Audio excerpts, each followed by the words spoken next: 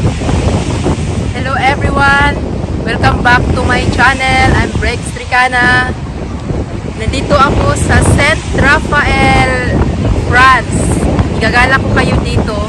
Uh, ito yung magkasunod sa Cannes. So, gusto ko sanang pumunta sa sa sa Nice. France pa rin siya. Sa Nice, yung Nice na nasa kanta. So, malayo na. 2 hours from here. So, dito na lang dito ko na lang kayo igagala. Sana guys!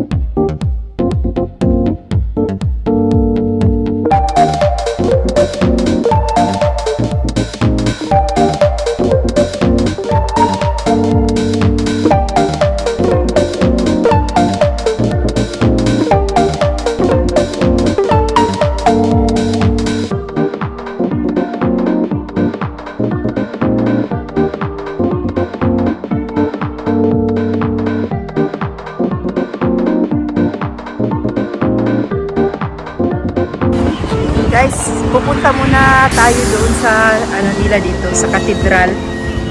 Sa Notre Dame Cathedral